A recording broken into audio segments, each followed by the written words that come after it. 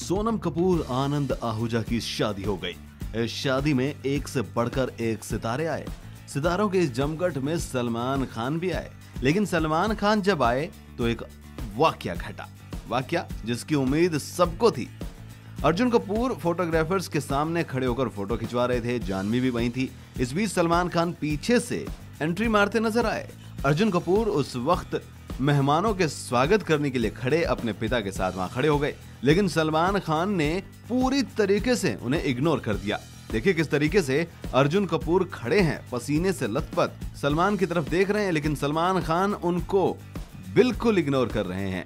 सलमान खान एक सीढ़ी ऊपर चढ़ते हैं और साथ ही अर्जुन कपूर भी। लेकिन यहाँ पर भी सलमान खान अर्जुन कपूर को कोई भाव नहीं देते हैं। अर्जुन कपूर ये सब देखते हैं, अपने इंसल्ट देखते हुए वो चुपचाप अंदर चले जाते हैं। इसके बाद सलमान खान वहाँ खड़े होकर कुछ देर तक कटरीना कैफ से बात भी करते रहते हैं।